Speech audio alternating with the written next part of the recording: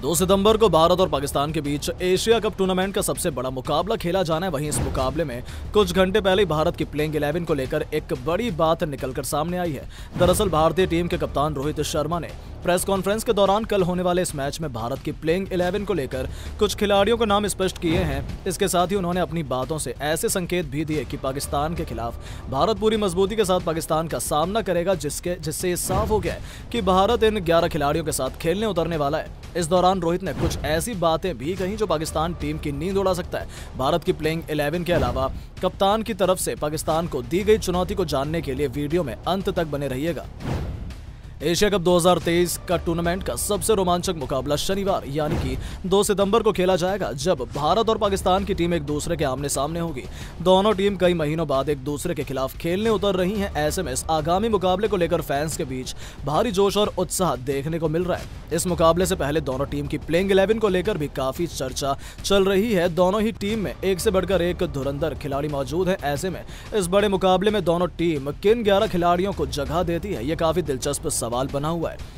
दोनों टीम की प्लेइंग 11 की बात करें तो इस आगामी मुकाबले के लिए पाकिस्तान की प्लेइंग 11 की स्थिति साफ़ नज़र आती है। वहीं भारतीय टीम की प्लेइंग 11 को लेकर अभी भी असमंजसता बनी हुई है। पाकिस्तान की प्लेइंग 11 को लेकर साफ़ स्थिति कहने के पीछे की वजह नेपाल के साथ खेला गया मैच है, जिसमें पाकिस्तान टीम ने नेपाल के खिलाफ जिस तरह का शानदार प्रदर्शन किया, उसके बाद पाक टीम अपनी प्लेइंग इलेवन के साथ छेड़छाड़ नहीं करना चाहेगी। ऐसे में नेपाल के खिलाफ पाक टीम जिस प्लेइंग इलेवन के साथ खेलने उतरी है, उसी टीम के साथ एक बार फिर आगामी मुकाबले में भी उतर सकती है। वहीं भारत की बात करें तो भारत इस टूर्नामेंट में अपना पहला ही मुकाबला पाकिस्तान के खिलाफ खेलेगा। ऐसे में भारतीय टीम की प्लेइंग इलेवन को लेकर चर्चा सबसे ज़्यादा हो रही है।